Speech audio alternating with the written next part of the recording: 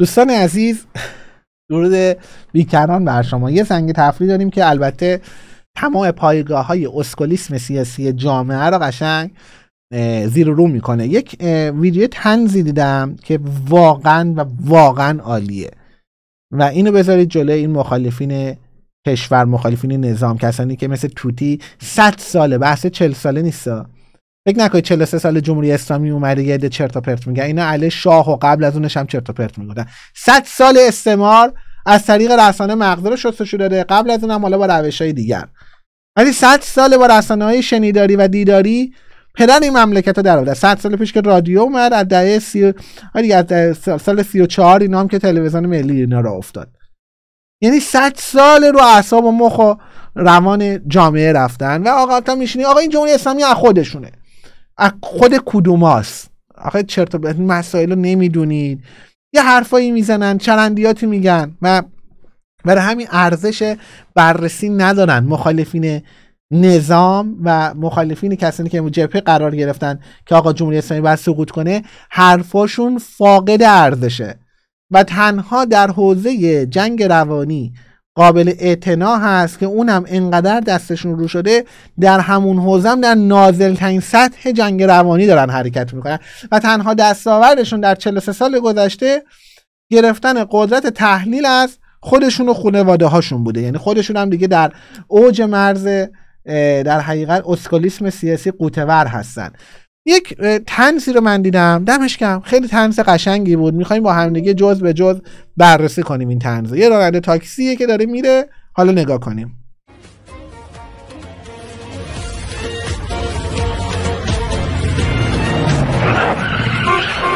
یه بالا. به جام تا افسر جریمه نکرده. چه خبر همون داره چندی؟ من بدون بیشتر نمیرم ها. کرایش هم همونه.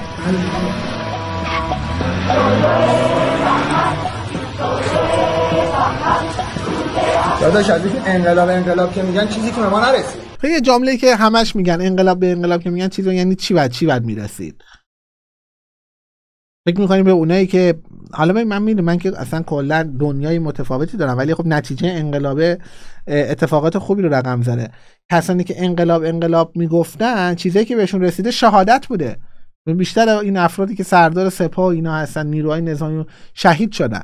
خود قاسم سلیمانی که قرار بود میگه آقا مثلا نفر دوم مملکت خودش شهید شده. چی رسیده مثلا به بچه‌هاش؟ چشمم نشه یه موبایل حالا دست دخترش به خودشون رو پاره کردن. چی رسیده به بچه‌هاش؟ به خودش چی رسید؟ چیز شدن ترورش کردن. یعنی این یک تصور غلطیه. آقا مثلا یه اتفاقی باید یه چیزی برسه. این یه حرف اسکولیسم سیاسیه که متاسفانه جا انداختن. حالا ادامه. والا اون زمان آمریکا دید ایران داره قوی میشه. کمک کرد به این آخوندا تا انقلاب کنه. آمریکا؟ دمت گرم. خب ببین این که آمریکا اولا هیچ وقت نمیده ایران داره قوی میشه. محمد رضا شاه یک سری نافرمانی هم که آمریکا زیاده خواهی کرد. بعدم آمریکا روی تیم بازرگان تیم بازرگان و ملی مذهبی ها و نهضت آزادی و اینجور جریانات مصدقی سرمایه گذاری کرده بود. این جریاناتی خود آخه شیرین هم می‌زنن. این مصدقی ها کلا شیرین می‌زنن. بر رو اونا یه خورده سرمایه گذاری کرده بود دیگه خمینی دیگه یه اتفاق خدایی بود واقعا. خب یعنی اتفاقی که خمینی اومد و تونست در حقیقت کلیت اتفاقات 57 و مدیریت بکنه من واژه مدیریت استفاده می‌کنم. این به نظر من اون دستای پنهانی که چیز در حقیقت نگهبان ایران هستن. و یه اتفاق بزرگ افتاد که برای آمریکا بسیار گران تموم شد.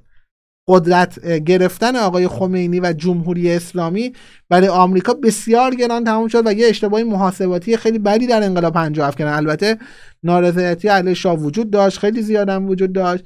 حکومت از درون پوسیده بود.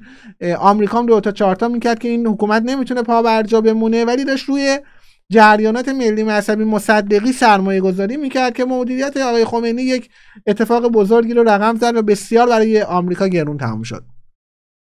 دادا شما در جریان نیستی. اینا همه برنامه ریزی شده است. بله. هم که کشور رو راحت فروختن به چین و روسیه. خب. ببین این هم اسکالیسم سیاسیه میگه آمریکا.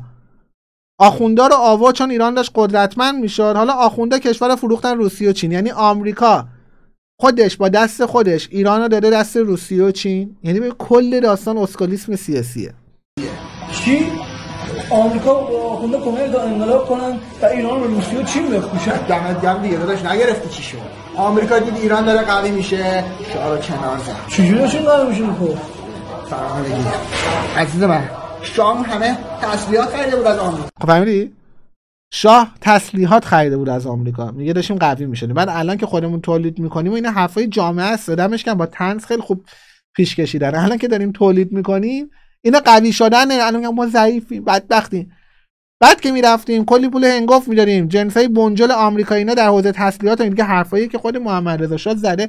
شما کتاب خاطرات آقای امیر اسلان افشار در حقیقت وزیر تشریفات دربار رو برید بخونید. آقای امیر اسلان افشار همین دو سال یه سال پیش هم فوت کردن بنده خدا. در صفحه های آخر کتاب خاطرات خودشون در دو سه صفحه آخر کتاب خودشون که میگن کتاب 200 صفحه ای هم هست. در دو صفحه آخر میگه شاه برمیگرده به امیر حسن افشار میگه انگلیس چرا انقدر به من بدی کرد؟ من که هر چی خواستن انجام دادم حتی تانکای چفتنی که به درد من نمیخورده ازشون خریدم. به کار من نمیومد خریدم. یعنی ببین تا این حد. بعد اونا قوی شدن می‌دونن آقایون که ما حق اینم نداشتیم. ما البته اواخر در سال دیگه دهه 50 به اینور اجازه گرفته بودیم که فشنگ بتونیم خودمون تولید کنیم در پارچین ورامین. بعد اینو قدرتی می‌دونن که رفتیم آریه خریدیم و مستشاران آمریکایی هم همه تو ایران بودن نمیذاشتن ما خیلی چیزا رو یاد بگیریم. و اینکه جمهوری اسلامی خودش در اوج تحریم ها قوی ترین سیستم موشکی رو راه انداخته که بعضی از موشکاش اولا در دنیا جز پنج کشور اول موشکی دنیا جز ده کشور پرتاب کننده ماهواره بر مدار زمینه. و و و, و رو اینا رو نمی‌بینن. این وها رو نمی‌بینن. این یه حقیقت اسکالیسم سیاسی جامعه. با این جامعه نمیشه وارد دیالوگ شد. اینا واقعا باید سرشون بخوره به سنگ. چون دارن چرت و پرت میگن. 43 ساله میگن نظام سقوط می‌کنه دارن می‌بینن چه اتفاقاتی داره رقم می‌خوره. رسما به مزخرف گویی افتادن. شاه سلام می‌داد بعد ایران شاکی می‌شد خب میگه شاه میگه آمریکا به شاه سلاح می‌داد بعد از این قوی شدن ایران شاکی میشه خودش اگه سلاح میفروخته اگه ایران قوی می‌شده دیگه چرا بس بعد آمریکا؟ راست میگه.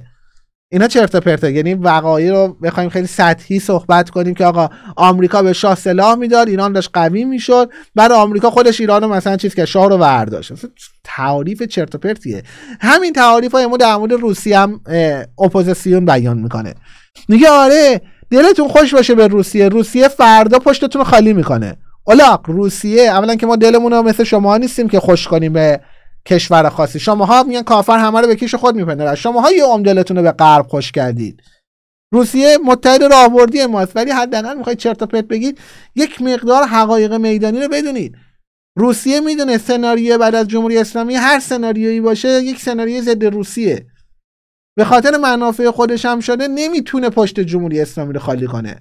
حالا ما انگار ببخشید معذرت می‌خوام در گوش این چهار داریم یاسین می‌خونیم اگر گوشاشون درازه نمی‌فهمم. والا یه ذره گوش خدا به ما داده خوب میشنویم. شماها چطور شما بر اندازه انقدرم گوشتون درازه نمی‌فهمید؟ والا اصلا عجیبه. آدم ما هم مگه ما, ما آدمیم دیگه. آدما یه گوش کوچولو دارن یه صحبتی میشه می‌فهمن. این بر اندازه با این گوشه درازشون ما هی میگیم انگار داریم یاسین می‌خونیم. عزیز من انگار شما تو باغ نیست یا قربون شکل ماه همه مردم می‌بینی؟ هیچکی. هیچ کسی اصلا با آمریکا مشکلی نداره. تازه با آمریکا قوی هم میشه فهمید چی شما میگه آمریکا شار انداخته بینو حالا مردم با آمریکا مشکل ندارن. چرت پرت داریم. یک آشفتگی در افکار مخالفان نظام وجود داره. مزخرفگویی صرف دارن بیان می‌کنن. اینا نمی‌ذارن اگه نگفتی با آمریکا میشی؟ چطور شما با آمریکا قوی بود؟ ولی آمریکا شما زد کنار. خدا وکیلی ما نتونیم آمریکا دوست دشمن.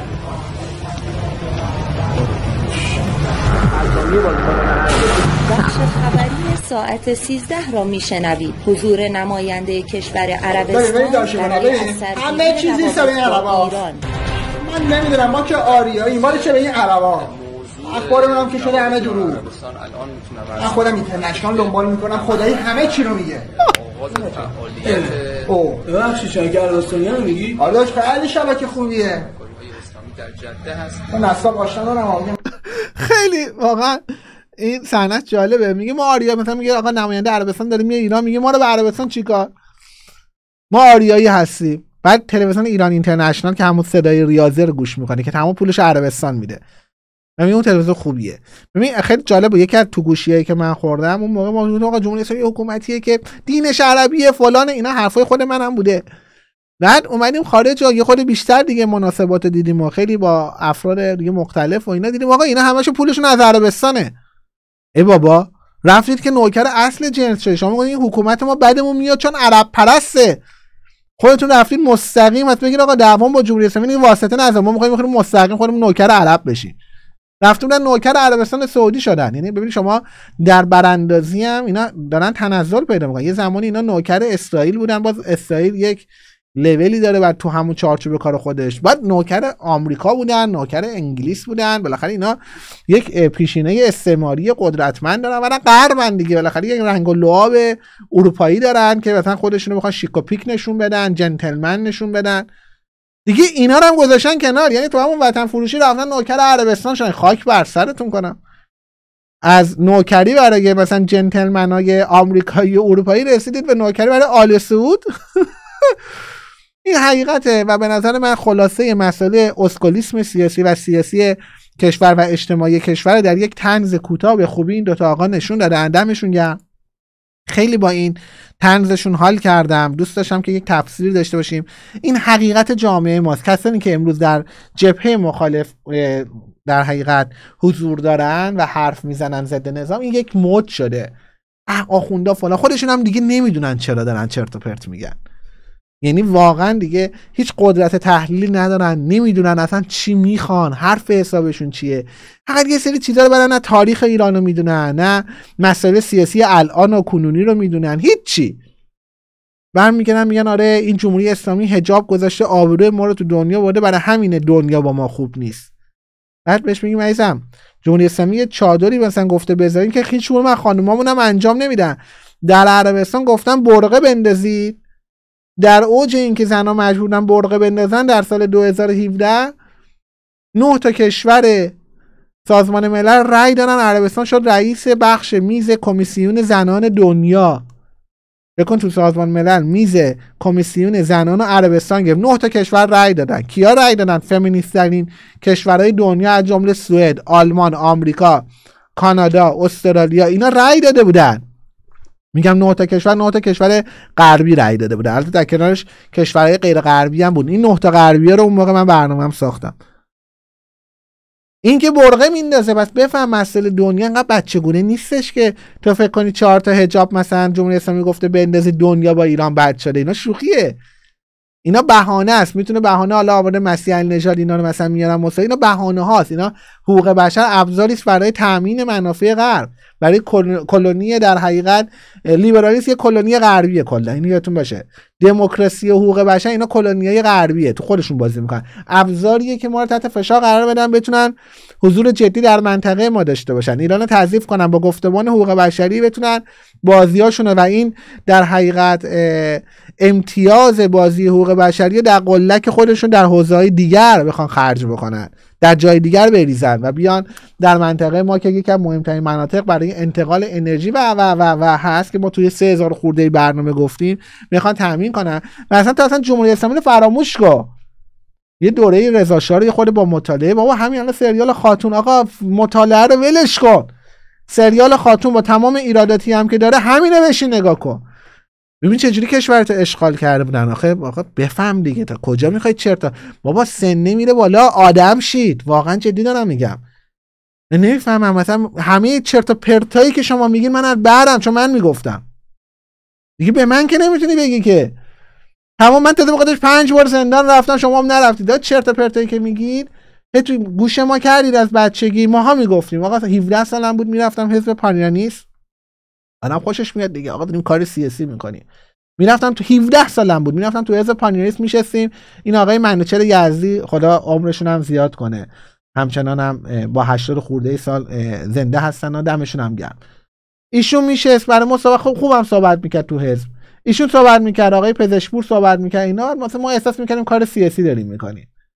یه مش اسکولیسم سیاسی رو گفتمان اسکولیسم سیاسی رو ما روز یک شنبه ها و چهارشنبه ها جلسه داشتیم تو دفتر حزب. دفتر حزب توی کوچه دیباجی پایین تر از حسینی ارشاد در خیابون شریعتی بالاتر از پل همت.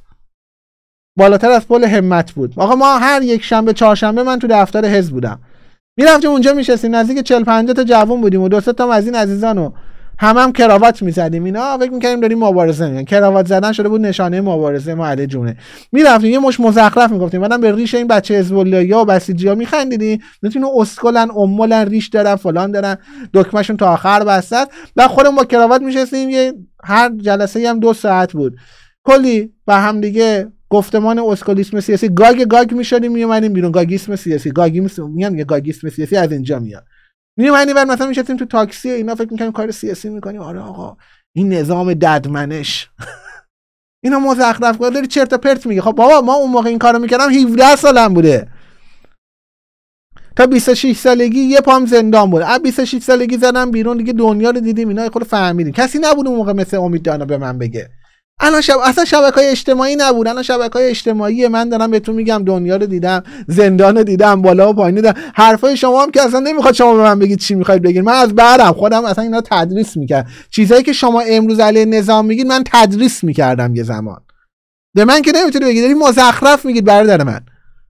مسائل اگه دو تا چهار تا کنی می‌فهمید چه اتفاق بزرگی میفته و از این اسکولیسم سیاسی خودتون رو نجات بدید. بابا سن میره بالا بعد آدم بشید. من نمی‌دونم چرا سن اینا داره میره بالا. همه عقب افتاده. با جوونا راحتتر میشه صحبت کرد. هرچی سنشون میره بالا عقب افتاده میشه. البته سفر استکهلم یه خورده منو شوکه کرد. یعنی سوار تاکسی شدم. ساعت دوازده و نیم بود. دوازده و نیم شب. سوار تاکسی شدم و طرف ایرانی گفتم بله. گفت درود بر شما. آقا یه رفتیم جلوتر. بعد یه خورده درود و اینا گفتم شما هوادار پادشاهی هستی گفتم من هوادار اقتدار ایران در منطقه و اینا هستم. بعد یه خورده رفتیم جلوتر کار مردم ایران مردم اینجا متاسفانه بعدیشون غربگرا هستن. بعد دیگه کدواژه خیلی تابلو کدواژه خود منه دیگه. من گفتم شما ببخشید حرفتون صحبتاتون شبیه پسر است که تو تلویزیون توی رسانه ها صحبت می‌کنه اینا. شما برنامه رو دست نگاه می‌کنید؟ و گفت بله آقای امید من برنامه شما رو می‌بینم. بعد میگن خب چرا رو نمی‌کنی که منو می‌شناسی؟ گفت نه من از همون ثانی که نشستی شناختم منتها گفتم که تا آخر مسیر رو نکنم آخرش بهت بگم. گفتم خب عزیزم تو دیگه تابلو کردی دیگه. نشستی میگی من طرفدار خامنه ای درود بر شما میگی بعدم میگی غربگدان تابلو دیگه که معلوم بود که دیگه من نگاه می‌کنی.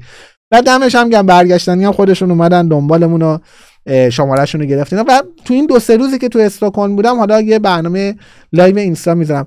خیلی برنامه جالب بود. یعنی خودم شوکه شدم. یه مثال نقضی بود که می‌گفتم خیلی ها نمی‌فهمن.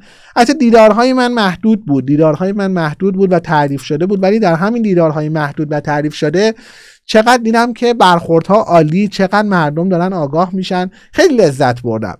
به هر حال سن که میره بالاتر ما باید فهمیده تر بشیم. من نمی‌دونم خودتون نجات بدید. اگر ضد نظام این فقط ساخنم الان با براندازات و کسایی که ضد جمهوری اسلامی هن. تا هم باشون صحبت می‌کنیم میگن ما بی بی سی نگاه نمی‌کنیم من تو نگاه نمی‌کنیم. بابا خفه شید دیگه. نگاه نمی‌کنی حرفای اونو دارید می‌زنید. خودتون رو نجات بدید از براندازی زندگیاتون رو نابود کرده. عقلتون رو گرفته. به خاطر خودتون خودتون رو نجات بدید. از این براندازی بیاید بیرون. یه خورده به مسائل جدی تر فکر بکنید. عاشقتونم. این کلیپ به نظر من یکی از کارهای خیلی عالی بود. دمشون گم سازنده هاشون. خیلی حال کردم. پاینده ایران و بدرود. زنگ تفریح بود ولی حالت نصیحت هم پیدا کرد. بدرود.